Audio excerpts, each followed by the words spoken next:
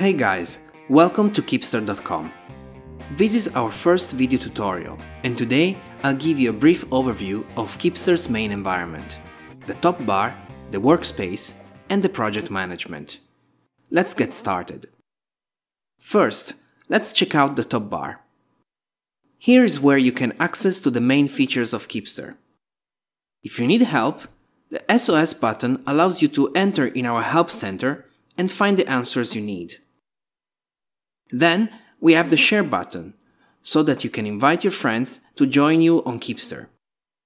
If you do that, you'll be rewarded with some credits.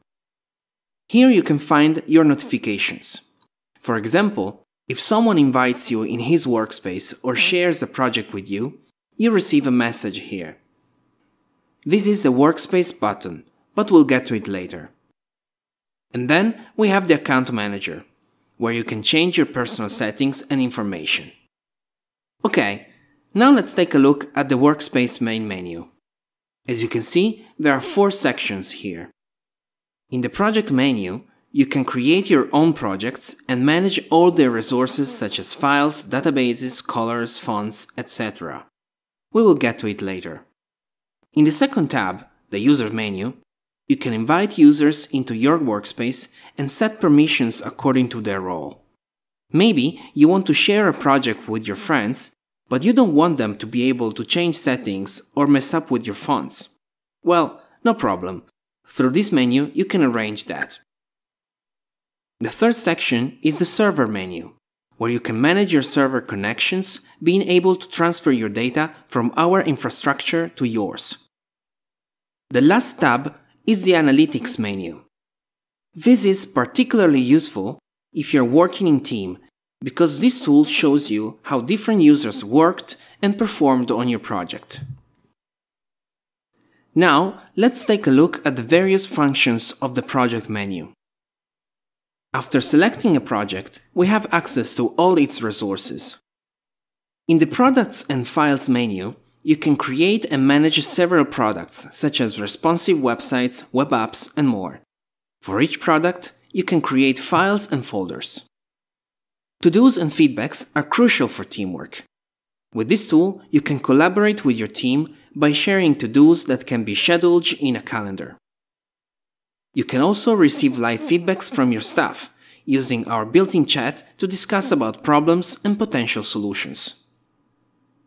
From the Database Management menu, you can create databases and tables or import your data from MySQL databases or CSV TSV files.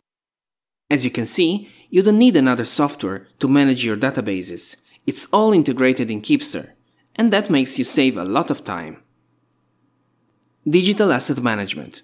This is a useful feature that allows you to tag, import, embed, and manipulate your project's media assets such as images, vectors, audio, and video. You can even get assets directly from the internet using our powerful built-in web search tool. In the color set menu, you can easily choose the right color palette for your project. Qipster also helps you by providing preset color schemes and supporting different color models. The Font Manager allows you to choose the right fonts for your project from our free library or directly from Google Fonts. If you need, you can also upload your own. And for each font, you can check the char map and get a sample phrase preview to be sure it's the font you're looking for.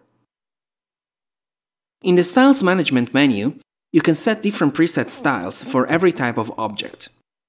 This allows you to speed up your design process and also helps you to easily change the overall style of your layout. You can try new colors, styles and fonts, and quickly experiment to set the right look to your product, even after your work is done. Next, we have the code snippet management. If you're a developer and want to hand code your product, Qipster allows you to do that and helps you in many ways. One of these ways is by giving you the opportunity to save your code snippets and use them while you're coding. You can also share them with other users and create a code snippet library with your team. And finally, there is the project info menu that simply gives you some details about the project such as description and starting date. That's all for now. In this tutorial, we learned about the Qipster's main environment, starting from the top bar, the workspace and project management. Feel free to browse around the demo projects available and experiment yourself what we have seen in this video. Thank you for watching, and remember to subscribe, like, leave a comment and share. If you want, you can check our social network pages. Please find the links in the description below. See you soon on Qipster.com and remember, quick is power.